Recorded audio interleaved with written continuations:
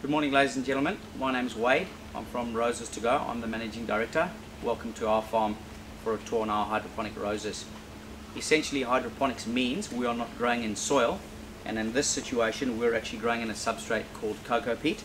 Coco peat is derived from the outer husk of a coconut. It's allowed to decompose over a number of years and the most important part of that being that we try to remove a lot of the chloride salt. Um, potassium chloride is very uh, highly concentrated in the outer husk of coconuts so we need to try and remove most of that chloride ion there. If I just show you here a handful of coco peat which is in a box of obviously growing roses one of the main attributes is its very high moisture retention capacity and if I just squeeze that you'll be amazed at how much water comes out of just a handful of coco peat there.